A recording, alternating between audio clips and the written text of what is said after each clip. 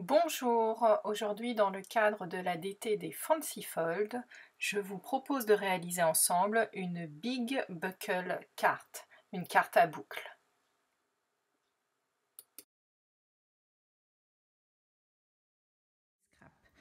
Aujourd'hui, nous allons nous retrouver pour réaliser ensemble une carte que l'on appelle une Big Buckle Card, une carte à grosse boucle. Je vous présente donc ici premier modèle avec donc toute la collection Palais Oriental que vous allez bientôt pouvoir découvrir dans le catalogue 2017-2018 qui sort le 1er juin. Je vous propose donc de travailler avec euh, l'assortiment de mini glands que je trouve particulièrement joli. Nous avons bien entendu ici nos nouveaux poinçons. Je vais vous montrer dans la réalisation que nous allons faire, comment pouvoir les utiliser. Vous voyez également des nouveaux autocollants donc en vinyle, très pratiques, qui se positionnent excessivement bien sur l'ensemble de nos papiers pour donner une petite touche euh, dorée ici, également là. Et enfin, j'ai travaillé également avec donc le set de tampons Beauté de Lorient qui est un set très polyvalent, 21 tampons différents, une partie toujours textuelle comme nous le faisons maintenant et une partie plus à motif qui reprend donc les motifs que nous retrouvons dans les papiers de la collection orientale. Cette carte s'appelle donc une Big Buckle Card, tout simplement puisqu'elle s'ouvre ainsi.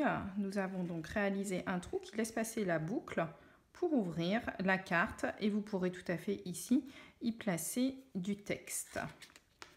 La carte que je vous propose de réaliser ensemble est légèrement différente de celle que je viens de vous montrer dans le sens où le clapet de fermeture est ici beaucoup plus large.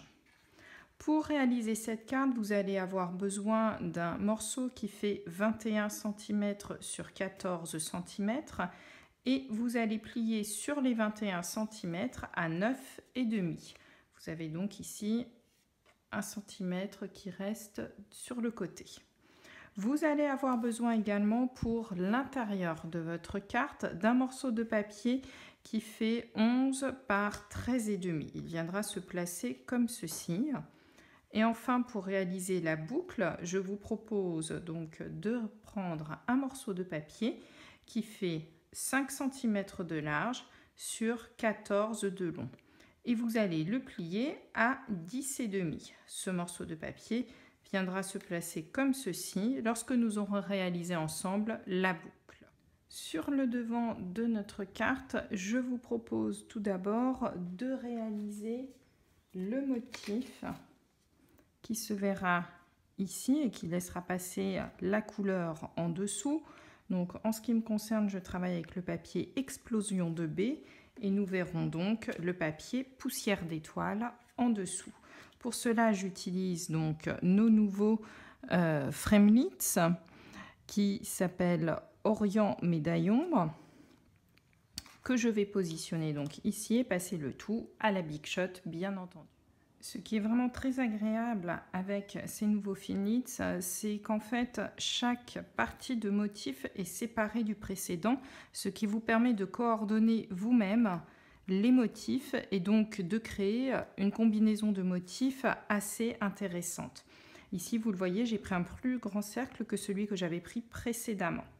J'ai également réalisé à peu près à 2 cm du bord, ici, une fente grâce à notre perforatrice que voici, que j'aime beaucoup euh, et qui euh, permet notamment de passer aisément notre languette qui fait donc 2 pouces, ce qui permettra voilà, de la voir quand même euh, sur une belle distance et donc de voir le texte du message ici. Passons maintenant à la décoration. Donc après avoir préparé mes différents embellissements, j'ai donc utilisé ici nos autocollants en vinyle pour décorer ma carte ici et légèrement aussi un rappel sur le cardstock couleur poussière de rose. J'ai également embelli ce qui sera donc ma ceinture avec donc les nouveaux papiers de la collection euh, Beauté de l'Orient. J'ai ici tamponné en figue fraîche un sentiment issu donc du set de tampons Beauté de l'Orient.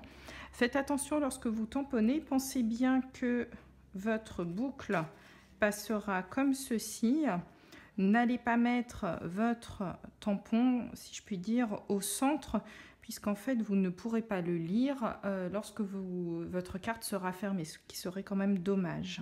Donc pensez plutôt à décaler. Ce que je vous conseille de faire, c'est de faire un tout petit trait au crayon papier ici pour savoir où se fermera votre carte pour pouvoir ainsi positionner correctement votre tampon. Une fois l'ensemble collé, voici donc notre carte qui s'ouvre donc ainsi, qui vous laisse une belle place pour l'écriture. Voici donc les deux petits modèles de cartes que je vous propose. Voilà, j'espère que ce projet vous aura plu. J'ai hâte de voir vos réalisations. Je vous dis à bientôt pour une nouvelle vidéo.